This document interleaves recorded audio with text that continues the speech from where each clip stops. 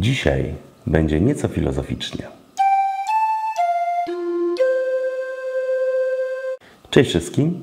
Dzisiaj porozmawiamy o historii komety Haleja. Kometa Haleja to jest krótkookresowa kometa, która odwiedza nas mniej więcej co 76 lat, ale tak naprawdę wiemy o tym od niedawna. Ona była obserwowana w w historii. Jeżeli spojrzymy tutaj, e, mamy właśnie jakieś takie ryciny, rysunki, obserwacji. Nawet się mówi, że gwiazda betlejemska mogła być właśnie kometą Haleja. To jeśli spojrzymy sobie właśnie tutaj na kalendarz, o tutaj mamy wreszcie kalendarz, to pierwsze pojawienie się jej oficjalnie zarejestrowane, bo ona odwiedza Ziemię nawet jak jeszcze ludzi nie było. Pierwsza zaobserwowana jej wizyta była mniej więcej 240 lat przed rokiem zero, przed naszą erą.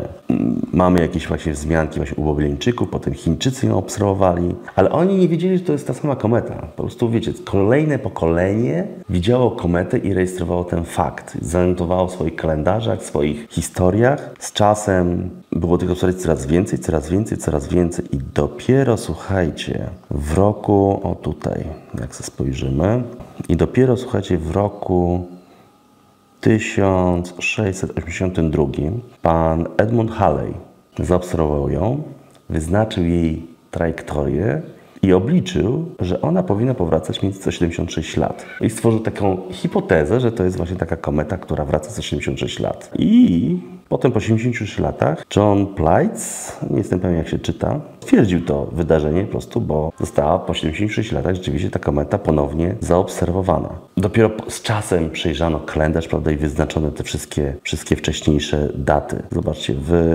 roku 1910 żeśmy dopiero pierwszy raz fotografowali tę kometę. Pierwszy raz zrobiliśmy jej zdjęcie. Wcześniej były tylko ryciny, tylko ręczne rysunki. To pięknie na tle tej komety widać, jak się cywilizacja porusza, czyli mieliśmy pierwszy raz okazję w ogóle zrobić zdjęcie. Potem przy kolejnej wizycie już cywilizacja poszła do tyle do przodu, o zobaczcie, w 1986 roku wysyłaliśmy do niej już sondy kosmiczne. Ja byłem wtedy dzieckiem, pamiętam właśnie misję Vega 1, Vega 2, najbardziej Giotto pamiętam, bo Giotto była misją europejską, ona wleciała w ogon i zrobiła z tyłu, od, od tyłu komety właśnie takie zdjęcie właśnie tego jądra. To jest jakby najbardziej znane chwilę zdjęcie tej, tej komety. I ja to pamiętam, ale jako dziecko nie byłem w stanie budować. I teraz mamy rok 2023-2024. Właśnie zaczął się 24. Jesteśmy tu. Na przełomie 2023-2024 ta kometa odleciała od nas na najdalszy możliwy punkt. Czyli w tej chwili porusza się najwolniej, porusza się daleko od nas. Nie jesteśmy w stanie nawet jej obserwować z Ziemi. Możemy tylko matematycznie przewidzieć, gdzie ona mniej więcej jest. A natomiast następna wizyta 2061 rok jak dożyję, mam szansę, ale będę miał coś 80 lat wtedy, będąc staruszkiem. Na pewno nie będę budował, sprzętu do tego, tylko co może co w, telewizorze będę obserwował. Natomiast jeżeli jesteście taki młodzi, to macie szansę zbudować satelitę, który właśnie z bliska obejrzy, może nawet wyląduje na tej sondzie, bo dzisiaj mamy technologię, że można wylądować na sondzie, więc może wylądujemy na tej sondzie i będziemy potem przekazywać telemetrię z trajektorii, jak potem ta sonda gdzieś tam będzie odlatywać. To jest w sumie bardzo ciekawe. Tylko dokładnie, hmm, policzmy to dokładnie. Sobie tutaj wezmę taką karteczkę i spójrzmy na to. Rok 2061 będzie kometa. To znaczy, jeżeli mamy wysłać do niej sondę, to musimy to zrobić jakieś 5-6 lat, może 3 lata. Nie jestem pewny, jaką trajektorię wybierze, wyznaczymy, czy będziemy potrzebować jakiejś asysty grawitacyjnej. Powiedzmy, że to będzie 6 lat. Więc w 2055 roku musimy wysłać rakietę do niej. To znaczy, że tą sondę musimy zbudować w 2050 roku. A to znaczy, tutaj będziemy musieli mieć sondę. O. A to znaczy, że w 2045 trzeba zacząć ją budować. Czyli, że mniej więcej koło roku 2035 powinny być pisane do niej propozale.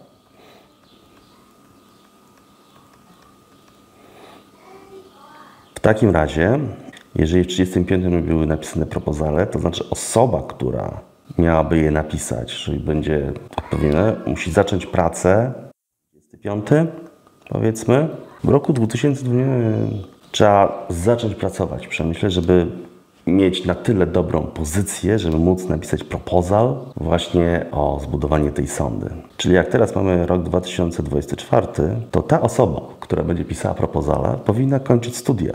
Czyli jeżeli teraz jesteś na etapie kończenia studiów i planujesz bycie inżynierem kosmicznym, to bardzo możliwe, że będziesz właśnie tą osobą, która zdobędzie pracę, potem napisze proposala, żeby wygrać konkurs na zbudowanie satelity, zbuduje tego satelitę, wyśle w kosmos, aby w roku 61 zobaczyć wyniki swojej pracy. Trochę czasu minie, ale nic to. Popatrzcie sobie jeszcze na to.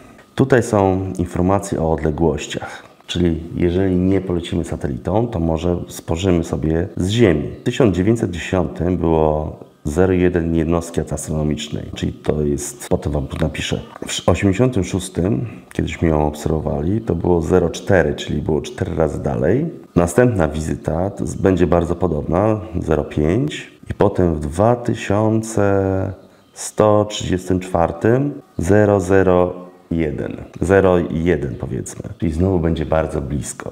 Ja nie dożyję. Wy prawdopodobnie też nie dożyjecie. Chociaż kto wie, może medycyna w tym czasie zmieni. A może już będziemy w tym czasie obserwować to z, z innych planet. Zobaczcie, jakie są różnice. 2910, pierwsze zdjęcie, sonda, więc tutaj powinniśmy mieć normalnie lądowanie na tym i umieszczenie jakiejś aparatury, która będzie przekazywała pozycję, tak jak misję Voyager aktualnie. A kolejna wizyta, która już nie dla mnie, nie dla Was, e, to już nie wiem, to być może będziemy mieli wycieczki dla turystów. Kto wie? Świat się bardzo wtedy zmieni. To tyle. Jeśli Wam się podobała łapkę w górę, jeśli Wam się nie podobała łapkę w dół, subskrybujcie ten kanał i pamiętajcie, wpadajcie na kanał Inżynieriada porozmawiać ze mną i z znajomymi. Trzymajcie się, hej!